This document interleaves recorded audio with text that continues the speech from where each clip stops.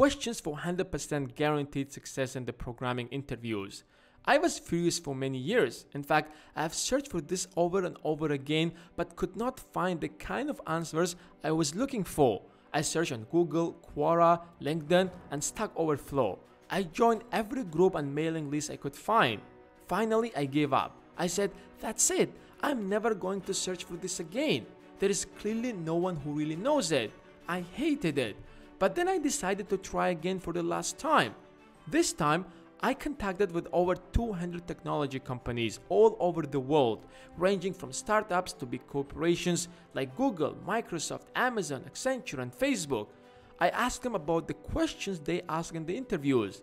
From many places, I received an answer, and some didn't reply at all. Then I spent over a year compiling my list from these answers I received and from all the places I searched on Google. And the result is this list.